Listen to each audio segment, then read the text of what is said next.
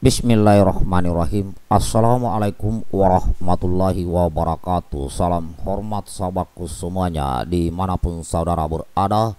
Seperti biasa Yang belum subscribe Silahkan di subscribe channel Yang paling mantap ini kawan. Baik di sini masih terkait informasi viralnya Ade Armando ya. Ah kali ini gubernur Kalimantan Barat ah tampil. Saya bacakan dari media online kalbaronline.com dengan judul Ade Armando lawan alih fungsi rumah ibadah jemaat Ahmadiyah Sintang. Sutarmaji titik dua. Kucing kawin saja dia komentari apalagi Ahmadiyah. Pembongkaran rumah ibadah jemaat Ahmadiyah Sintang di Desa Balai Harapan Kecamatan Tempunak untuk dijadikan rumah tinggal berlangsung adem ayem. Bisa dilihat sejak Satpol PP melakukan pembongkaran rumah ibadah jemaat Ahmadiyah Sintang itu sampai Dinas Perumahan Rakyat dan kawasan permukiman merenovasinya jadi rumah tinggal. Sebenarnya adem saja yang ribut itu kan yang di Jakarta. Yang di sini tenang-tenang saja, kata Gubernur Kalimantan Barat Sutar Miji kemarin. Parahnya lagi orang di Jakarta yang ribut soal ahli fungsi rumah ibadah jemaat Ahmadiyah Sintang itu ternyata teman Sutar Miji juga. Ada juga kawan saya sebagai ketua alumni alumni UI Universitas Indonesia malu juga. Apa pun dia komentari Ade Ar Ade Armando tuh kucing kawin saja dia komentari. Apalagi Ahmadiyah ucap Gubernur Kalimantan Barat Bapak Tusar Sutarmiji. Ia pun menegaskan terutama kepada Ade Armando bahwa pemerintah Provinsi Kalimantan Barat tidak mencampuri masalah akidah eh, jemaat Ahmadiyah Sintang. Yang menganut paham Ahmadiyah sampai meninggal itu terserah. Itu kita tak campur. Yang kita jaga, jangan sampai ada bentrok fisik antar masyarakat, ujar Sutarmiji. Ia pun menjelaskan kalau bangunan rumah ibadah jemaat Ahmadiyah Sintang itu tidak boleh digunakan secara permanen. Oleh karenanya, Pemprov Kalimantan Barat memutuskan rumah ibadah jemaat Ahmadiyah Sintang itu dialihfungsikan. Karena tidak ada izin, tidak boleh digunakan sampai SKB yang mengatur tentang Ahmadiyah membolehkan atau ada putusan lain yang jelas tentang status Ahmadiyah. Jelas Sutarmiji.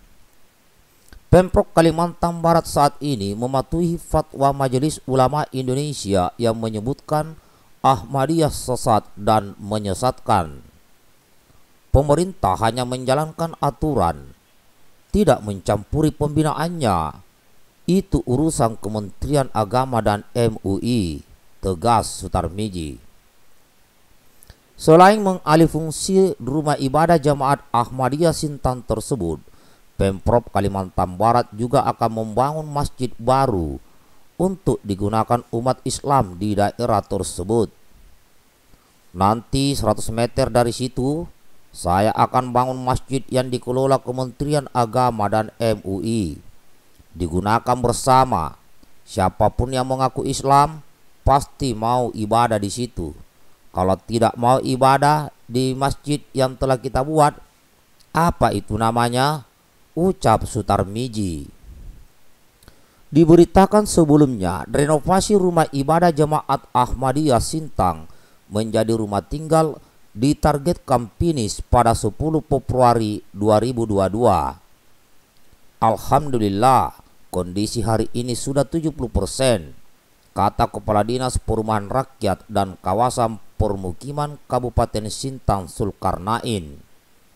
Ia menceritakan, Awalnya Satpol PP Kabupaten Sintang membongkar beberapa bagian, terutama simbol-simbol keagamaan dibangun jamaat Ahmadiyah tersebut. Selanjutnya, barulah pihaknya melakukan renovasi terhadap bangunan jemaat Ahmadiyah Sintan tersebut menjadi rumah tinggal. Sudah berupa rumah tinggal yang terdiri atas dua kamar tidur, satu ruang tamu, satu ruang keluarga, satu dapur, dan satu WC, kata Zulkarnain. Ia menambahkan, material bangunan yang digunakan permanen sehingga tidak mudah untuk dialihfungsikan kembali menjadi rumah ibadah. Material bangunan rumah tinggal ini dari batako, jadi permanen, tidak mudah untuk dibongkar lagi, ucap Zulkarnain. Setelah renovasi 100%, Zulkarnain mengaku akan menyerahkan kunci rumah tinggal itu kepada Badan Kesbampol Kabupaten Sintang kami membuat dua dokumen berupa dokumen aset dan renovasi, katanya. Sementara itu Bupati Sintang, Jarod Winarno menegaskan, tidak boleh lagi ada penambahan simbol-simbol tempat ibadah di rumah tinggal di Desa Balai Harapan, Kecamatan Tempuna tersebut. Jarod menjelaskan, awalnya pemerintah Kabupaten Sintang memberikan dua opsi untuk menyelesaikan permasalahan rumah ibadah jamaat Ahmadiyah tersebut. Opsi pertama, Pemkap Sintang membeli bangunannya. Opsi kedua, mengubah atau merenovasi rumah ibadah jamaat Ahmadiyah itu menjadi rumah tinggal. Opsi kedua yang kemudian dipilih, kata Jarod. Selain opsi tersebut, ungkap Jarod, Gubernur Kalbar Sutarmiji juga akan membangun satu unit masjid di desa Balai Harapan. Menurut Kepala Kantor Kementerian Agama, Kepala Kantor Kementerian Agama Kabupaten Sintang Anwar Ahmad, lahan untuk masjid itu sudah siap. Lahannya ukuran 25 kali 100 meter di Desa Balai Harapan, Kecamatan Tempudak, Sertifikatnya sudah dipegang Kementerian Agama Kabupaten Sintang. Di lahan tersebut sudah ada surau dan sudah dipakai umat Islam di sana. Masjid akan dibangun di belakangnya. Surau tidak dibongkar, tapi akan kita manfaatkan jadi sekretariat pengurus masjid. Jelas Anwar.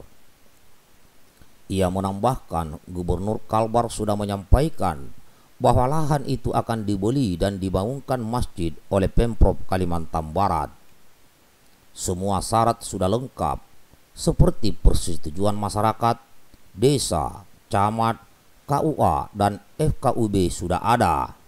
Bentuk dan ukuran belum disampaikan dari Pemprov Kalimantan Barat. Tutur Anwar. Nah, ini kawan ternyata cuy tanpa ada ada Armando ini ya kan?